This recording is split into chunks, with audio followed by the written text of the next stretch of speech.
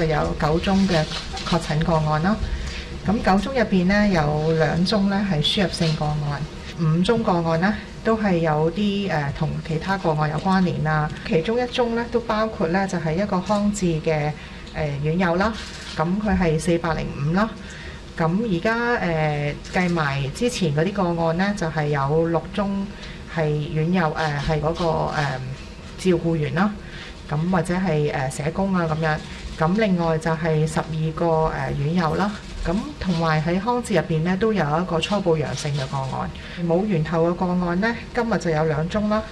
咁第一宗呢，就係、是、誒、我哋琴日講開嗰個三十六個三十六週懷孕嘅個案啦。咁佢個編號係四百零六啦。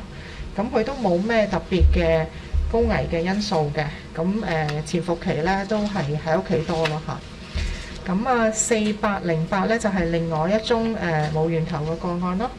咁佢咧就係誒七十五歲嘅男士啦，咁就係喺太子道西一間誒，即係地下嗰啲廠房咧，就係做雜工嘅。